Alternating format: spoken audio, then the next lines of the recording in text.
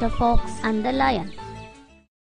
One day, a hungry fox happened to cross a lion. What do you want? I can't escape from him.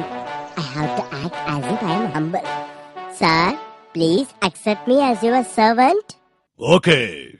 What luck! From now on, I need not have to suffer from hunger.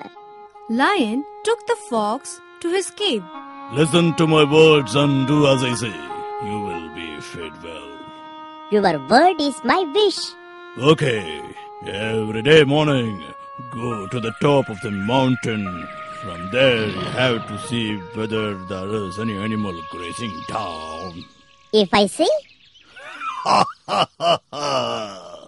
Immediately you should come and tell me anda kakasum abu kahukum hundred cc.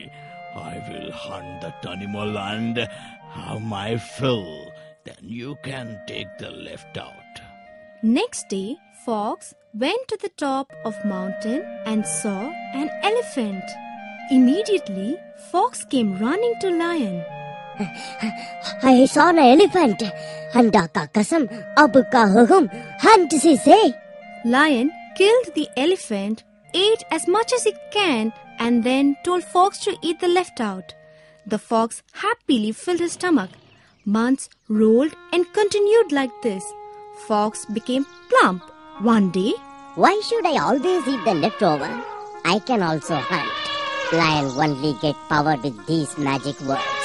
Fox said to Lion, Sir, I am eating the leftover for many days. I would like to hunt an elephant by myself. Hey, folks! Only a lion can hunt an elephant. Be happy and eat what I give you. Please give me a chance. Go to the top of mountain.